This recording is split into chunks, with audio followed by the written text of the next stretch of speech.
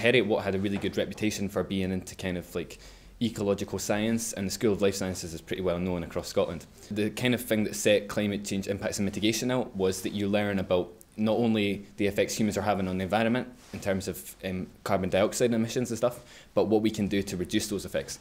And I thought that would be really useful for me to learn for the future. The lecturers here, they all have, the ones in the School of Life Sciences have like lots of different types of backgrounds um, of knowledge, and so they were able to help me from lots of different angles. And I think that was good. This summer I spent in the Arctic, and previously I lived in the Arctic for one year in the same area.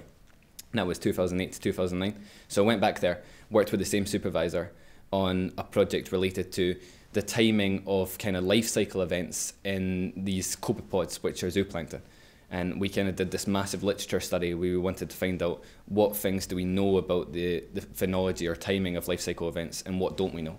So I was able to answer some of those questions. I made a lot of contacts during my time in the Arctic that have, for example, offered me more work in, in that field and we're writing some papers up right now.